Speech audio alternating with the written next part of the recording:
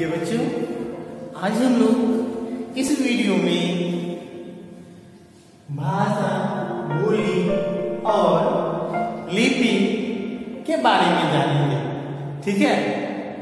आगे बढ़ते हैं। कल हम लोगों ने भाषा की परिभाषा और भाषा के बारे में पढ़ा था। आज हम लोग यहाँ से शुरुआत करेंगे।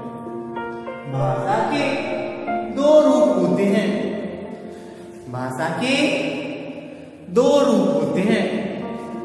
एक मौखिक भाषा और दूसरा लिखित भाषा।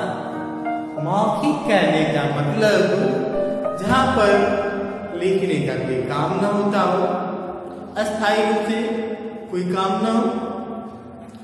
जैसे हम अपने मित्रों के साथ जो वार्तालाप करते हैं, बातचीत करते हैं,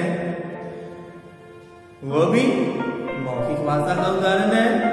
फिर हम कहीं पर भाषण सुनते हैं, मौखिक भाषा का उदाहरण है। फिर हमारे प्राचार्य महोदय हमें आकर समझाते हैं। मौखिक भाषा का उदाहरण है। ठीक है ना? तो मौखिक भाषा की परिभाषा इस प्रकार दे सकते हैं।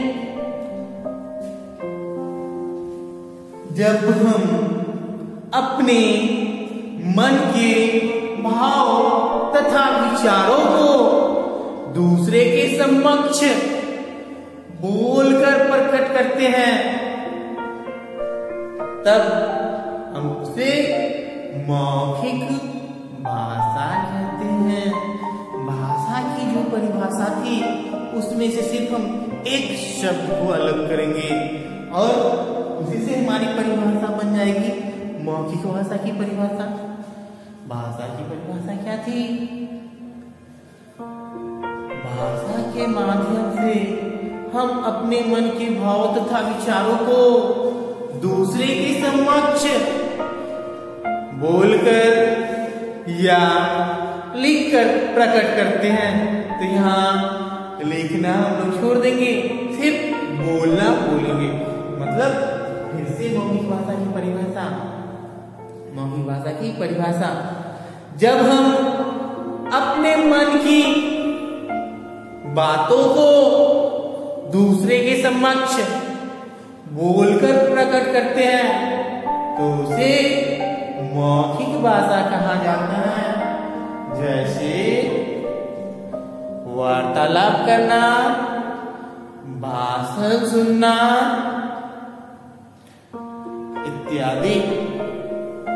लिखित भाषा। बच्चों, मौखिक भाषा की जो परिभाषा थी, उसी में हम उसी से हम परिभाषा बनाएँगे।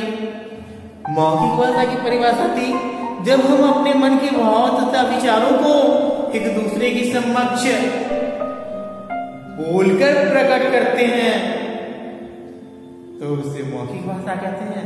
यहाँ हम कहेंगे लिखित भाषा में जब हम अपने मन के भाव तथा विचारों को एक दूसरे के समक्ष लिख कर प्रकट करते हैं, तब उसे हम लिखित भाषा कहते हैं।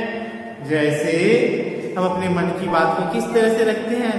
पत्र के माध्यम से रखते हैं, निबंध के माध्यम से रखते हैं, कहानी के माध्यम से रखते हैं। तो पत्र, समाचार पत्र, कहानी कविता, ये सब मौखिक भाषा का उदाहरण लिखित भाषा का उदाहरण हो जाएगा। और लिखित भाषा को अस्थाई भाषा भी कहा जाता है, क्योंकि जब हम एक बार किसी बात को लिख कर रखते हैं उसे वर्षों तक हम पढ़ते हैं।